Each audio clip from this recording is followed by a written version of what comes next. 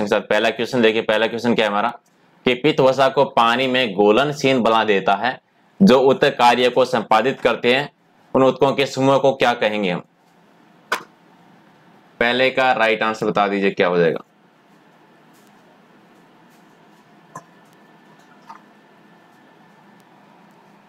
पहले का right answer वो हो जाएगा अंगतंत्र। ठीक है? तो चार नंबर है, वो हमारा सही उत्तर है। एक और याद रखिए इसके साथ, अंगतंत्र जो होते हैं, वो छह प्रकार के होते हैं। ठीक है? कितने प्रकार के होते हैं? छह प्रकार के। कौन कौन से? एक होता है पाचन तंत्र ठीक है? एक होता है रक्त परिसंचन तंत्र एक श्वसन तंत्र एक अंतस्त्रवी तंत्र तंत्रिका तंत्र और जनन तंत्र ठीक है? तो ये छह भाग होते हैं इसके। याद रखिए। दूसरा क्वेश्चन देखिए कि पाचन तंत्र को मुख्यतः कितने भागों में बांटा जाता है? पाचन तंत्र को कितने भागों में बांटेंगे? दूसरे का राइट आंसर बिल्कुल दो भागों में बांटेंगे। ए हो जाएगा राइट आंसर दो कौन कौन से? एक जो होता है पाचन आहार नाल जो होता है। ठीक है? एक आहार नाल और दूसरा पाचन ग्रंथियाँ। पाचन जो ग्रंथियाँ दो भागों में बांटेंगे। ठीक है? क्वेश्चन नंबर तीन देखें कि पाचन तंत्र का प्रारंभ मुख्य होकर किस संग होता है? देखिए, सबसे पहले तो ये याद रखिए क्वेश्चन बहुत बार आता है कि पाचन क्रिया की शुरुआत कहाँ से होती है, प्रारंभ कहाँ से होता है तो मुख्य होता है, जो कि क्वेश्चन में दे रखा है। ठीक है? एक क्वेश्चन का आंसर यही मिल जाएगा। और कहाँ से कहाँ तक होता है, ये बताना है आपको। तीसरे का राइट आंसर। बिल्कुल, ये गुदा तक होता है, ये हो जाएगा राइट आंसर। ठीक है? मुख से शुरू होता है, गुदा तक जाता है। तो मुख से ग्रस नियमाशय फिर छोटी आंत, फिर बड़ी आंत, फिर मलाशय के रूप में इस तरह निकल रहा है क्वेश्चन नंबर चार, देखिए कि मुख में पाए जाने वाला कौन सा एंजाइम है, वो बैक्टीरिया को मारने का काम करता है। मुख में पाए जाने वाला कौन सा एंजाइम जो है बैक्टीरिया को मारने का काम करता है? चार का राइट आंसर क्या हो जाएगा? लाइसोजाइम जो होता है, वो कार्य करता है हो जाएगा राइट आंसर। ठीक है? ये लार ग्रंथियों से, लार निकलकर भोजन में मिलकर भोजन को है, अन्य रूप में रंग देते हैं। और लार में पाए जाने वाले जो एंजाइम की जो माइलेज होती है और डायलिंग होती है वो मंडे को आंशिक रूप से बचाने का कार्य करती है। और जो लाइसोसोम जो मुख में पाया जाता है, वो एंजाइम बैक्टीरिया मारने का काम करता है। क्वेश्चन नंबर पाँच है कि सर्पों में पाए जाने वाली ग्रंथियाँ मनुष्य के किस ग्रंथि की रूपांतरण होती है? यानी सांपों में जो ग्रंथियाँ पाई जाती है, वो मनुष्य की कौन सी ग्रंथि की रूपांतरण होती है, ये बताना है। क्वेश्चन नंबर पाँच का राइट आंसर ये राइट आंसर हो जाएगा, लार ग्रंथियाँ है। उसकी रूपांतरण होती है, दो नंबर हो जाएगा इसका सही उत्तर। क्वेश्चन नंबर छह कि मुक्त और अमाशय को जोड़ने का कार्य कौन करता है? छह का राइट आंसर जी, बिल्कुल, जो घर्षणी होती है, वो करती है कार्य, ए हो जाएगा राइट आंसर नेक्स्ट है कि आमाशय में भोजन का पाचन है, वो अमलीय माध्यम में होता है। ठीक है? और मनुष्य के आमाशय में जठर ग्रंथियाँ पाई जाती है, जिनसे जठर रस का श्रावण होता है। इसके रासायनिक संगठन को सर्वाधिक मात्रा में क्या पाया जाता है? देखिए क्वेश्चन में ही हमारे एक दो क्वेश्चन तो निकल गए कि जठर रस का श्रावण है, किससे होता है? जठर ग्रंथियों से होती है। और जठर ग्रंथियाँ कहाँ पाई जाती है? आमाशय में पाई जाती है। ठीक है? तो इसका जो रासायनिक संगठन होता है, उसमें सर्वाधिक मात्रा किसकी होती है, ये बताना क्वेश्चन में से तो दो दो तीन क्वेश्चन हमारे ऐसे कवर हो गए। तो इसका राइट आंसर क्या हो जाएगा? जल की मात्रा सर्वाधिक होती है तो एक नंबर हो जाएगा राइट आंसर क्वेश्चन नंबर आठ है कि निम्न में से आमाशय में कौन सा एंजाइम पाया जाता है? आमाशय में पाए जाने वाले एंजाइम का नाम बताना है क्वेश्चन नंबर आठ का राइट आंसर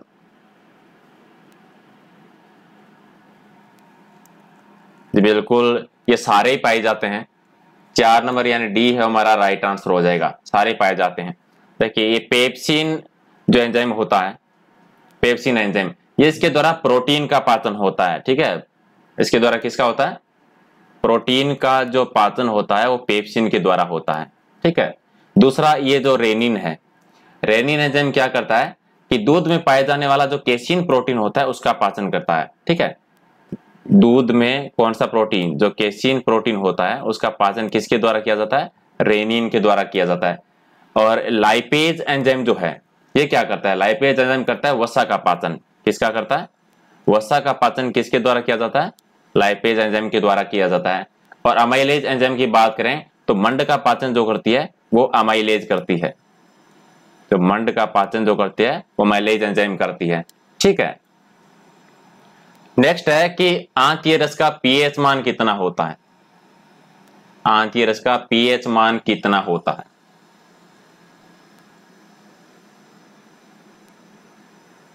राइट आंसर क्या हो जाएगा? बिल्कुल आठ से आठ तीन में होता है, ठीक है? क्योंकि छोटी आंत में भोजन का जो पाचन होता है, वो क्षारीय माध्यम से होता है। क्षारीय माध्यम से क्यों होता है? क्योंकि आंतीय रस का पीएच मान जो है वो आठ से आठ पॉइंट तीन तक होता है। क्वेश्चन नंबर दस, देखिए कि निम्न में से कार्य और संरचना के आधार पर छोटी आंत के भाग बताने। कार्य और संरचना के आधार पर बताने, थोड़ा सा ध्यान दे लेना क्वेश्चन पे दस का राइट आंसर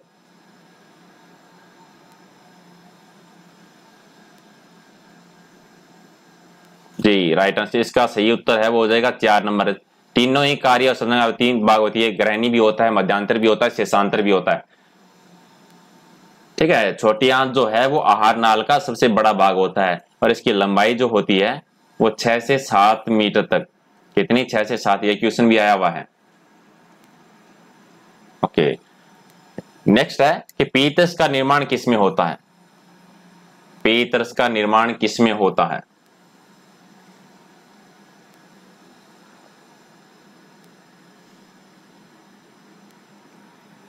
ग्यारह का राइट आंसर जी। बिल्कुल ये यकृत में होता है ए हो जाएगा राइट आंसर ठीक है?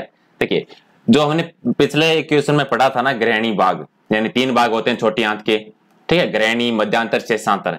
तो छोटी आंत का जो ग्रहणी भाग होता है ना, उसमें भोजन में, पाचन में पीत रस होता है और अग्नाशिक रस होता है।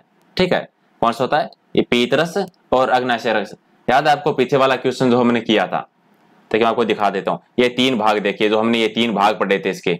कि छोटी आंत के कार्य संरचना के आधार पर तीन से तीन भाग जो होते हैं तो ग्रहणी भाग जो होता है, ठीक है, इसमें होता है, पीतरस होता है अग्नाशिक रस होता है। पीतरस का निर्माण है, ये तो होता है यकृत में, ठीक है, और अग्नाशिक रस जो होता है, उसका निर्माण किसमें होता है?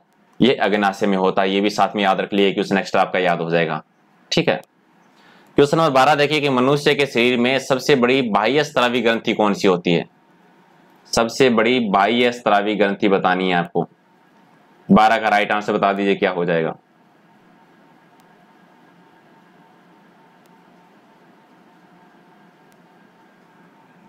बिल्कुल, ये यकृत होती है। इसका भी राइट आंसर है, वो ए हो जाएगा। ठीक है? ओके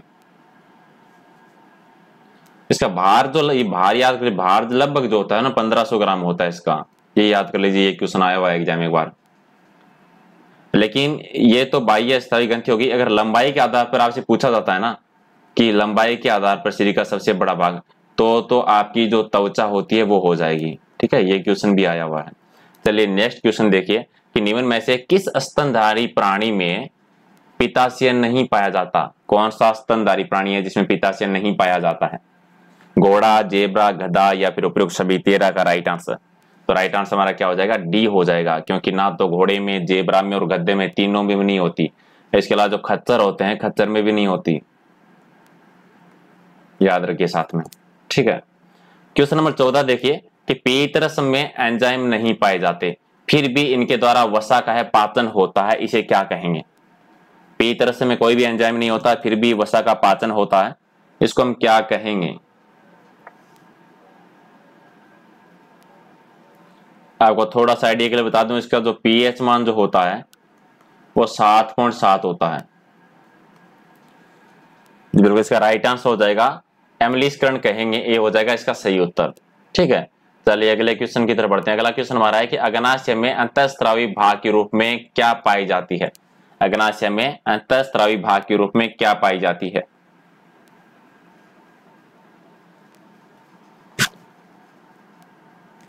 पंद्रह का सही उत्तर। जी, लेंगर हेंस दीपिकाएँ पाई जाती है। दो नंबर हो जाएगा राइट आंसर इसके अलावा एक क्वेश्चन और आता है मिश्रित ग्रंथि का। ठीक है, थोड़ा सा याद रखिए क्वेश्चन अभी आया था एग्ज़ाम में। मिश्रित ग्रंथि का, जो अग्नाशय जो होती है ना मिश्रित ग्रंथि के रूप में कार्य करती है। ठीक है। सोलह नंबर देखिए कि लेंगर हेस दीपिकाएँ का निर्माण है, कितने प्रकार की कोशिकाओं से होता है? लैंगरस दीपिकाएँ अभी हमने पढ़ा था कि अग्नाशय के अंतस्त्र भाग में पाई जाती है। तो इसके निर्माण में कितनी कोशिकाएँ होती है? क्वेश्चन नंबर सोलह का। बिल्कुल, तीन होती है, चार नंबर हो जाएगा। तीन कौन कौन सी? अल्फ़ा, बीटा और गामा। ठीक है? अल्फ़ा, बीटा और गामा, ये तीनों होती है। नेक्स्ट है कि निम्न में से कौन सा हार्मोन रुधिर में ग्लूकोज की मात्रा को बढ़ाने का काम करता है। कौन सा हार्मोन है जो रुधिर में ग्लूकोज की मात्रा को बढ़ाने का काम करता है? सत्रह का सही उत्तर।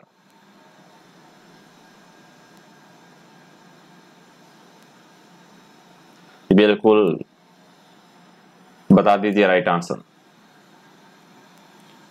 जी, ग्लूकेगान हार्मोन जो होता है, ये होता है, राइट आंसर इसका ये हो जाएगा। ठीक है? और ये हार्मोन जो होता है ना ये अल्फ़ा कोशिकाओं से होता है, ठीक है? याद रखिए, अभी हमने पढ़ा था ना? अल्फ़ा कोशिकाओं से इसका स्त्रावण होता है, इसका, जो कि रुधिर में ग्लूकोज की मात्रा को बढ़ाने का काम करता है। नेक्स्ट क्वेश्चन निम्न में से कौन सा हार्मोन है वो रुधिर में ग्लूकोज की मात्रा को नियंत्रित करता है? देखिए, यहाँ पर हमने पढ़ा था कि मात्रा को बढ़ाता है, ठीक है? और नियंत्रित करने का काम कौन करता है, ये बताना है अठारह का राइट आंसर ग्लूकेगान हार्मोन, हमने देखा कि अल्फ़ा कोशिकाओं से स्त्राव होता है ठीक है? और इसका राइट आंसर हो जाएगा जो इंसुलिन हार्मोन है। ठीक है? ये करता है इसको नियंत्रित। और इंसुलिन हार्मोन जो निकलता है ना, ये बीटा कोशिकाओं से निकलता है। देखिए क्वेश्चन एक दूसरे से जुड़े हुए हैं सारे। ठीक है? और जो एक, जो मधुमेह जो रोग होता है ना, वो भी देखिए बहुत बार क्वेश्चन आता है कि मधुमेह रोग किसकी वजह से होता है, ये इसी इंसुलिन की वजह से होता है। ठीक है? ग्लूकोज की मात्रा बढ़ जाती है तो मधुमेह रोग हो जाता है इंसुलिन की वजह से, ध्यान रखना। अगला क्वेश्चन हमारा है कि अग्नाशय में अग्नाशय के रस का निर्माण होता है, उसे किस नाम से जाना जाता है? ये क्वेश्चन पहले भी हमने देखा था कि अग्नाशय के रस का निर्माण किससे होता है? अग्नाशय से होता है। उसे किस नाम से जाना जाता है? गुन्नीस का राइट आंसर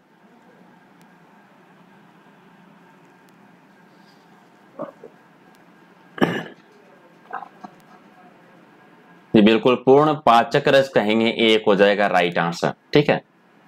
क्योंकि इसमें जो है सभी प्रकार के पोषक तत्व हैं, वो पूर्णतः पाचन होते हैं और एंजाइम पाए जाते हैं। जो प्रोटीन के पाचन के लिए ट्रिप्सिन एंजाइम पाया जाता है, वो यही होता है। चलिए नेक्स्ट क्वेश्चन देखिए छोटी आंत में पाई जाने वाली आंत या ग्रंथिया क्या कहलाती है? आंत या ग्रंथिया जो छोटी आंत में पाई जाती है, उन्हें क्या कहेंगे? राइट आंसर इसका क्या हो जाएगा? और एक और साथ में थोड़ा सा बता देता हूँ मैं, जो आंतीय रस का जो निर्माण होता है, वो यही होता है। आंतीय रस का निर्माण। ओके तो बीस का राइट आंसर क्या हो जाएगा? बिल्कुल ब्रुनस ग्रंथि जो होती है, वो हो जाएगा सही उत्तर, ठीक है? तो बीस का एक है नंबर है, वो हमारा सही उत्तर है। ओके गाइज़ तो ये आज का हमारा पहला टेस्ट था, और आज तो मैंने कमी क्वेश्चन किए हैं बीस ही क्वेश्चन लिए हैं, लेकिन ये पहला दिन था मैं देखा कितना। कल से हम तीस क्वेश्चन साइंस के और बीस क्वेश्चन जीके के लेके चलेंगे, यानी रोज़ाना पचास क्वेश्चन के टेस्ट करेंगे। और पीडीएफ अगर आपको चाहिए सर तो पीडीएफ लेना आपको टेलीग्राम से। देखिए, रोज नए टेस्ट होते हैं, उनकी तो पीडीएफ होती होती है, लेकिन इससे पहले भी 250 से भी ज़्यादा टेस्ट हो चुके हैं। सबकी पीडीएफ है, आपने अगर वीडियो नहीं देखे तो पीडीएफ ज़रूर देख लेना, एक बार साइंस की भी है, सबकी जीके की भी है। वो टेलीग्राम चैनल से लेनी होगी टेलीग्राम चैनल आप एक ऐप है टेलीग्राम के नाम से आप डाउनलोड कर लीजिए, वहाँ पर प्रहलाद सारण सर के नाम से सर्च कर सकते हो। और अगर आपको ऐसे क्वेश्चन अगर क्यूज में चाहिए तो फेसबुक पेज है, वो लाइक कर लीजिए, प्रहलाद सारण सर के नाम से है, बहुत सारी चीज़ें वहाँ पे होती है। ओके गाइज़ तो पसंद आ रहा हो तो लाइक कर देना, और वह भी, वैसे भी आज एक नई सीरीज़ शुरू की है तो आप लोगों का सहयोग चाहिए। अगर आप अपने दोस्तों के साथ शेयर कर दीजिए, जितने लोग आप लेब असिस्ट के ज़्यादा जुड़ोगे, उतने ज़्यादा बड़े टेस्ट होंगे, उतने रोज़ाना टेस्ट होंगे, बाकी थोड़ा सा आप लोगों का सहयोग चाहिए, अगर आप लोग कर सकते हो तो। तो शेयर ज़रूर कीजिएगा। Okay guys thank you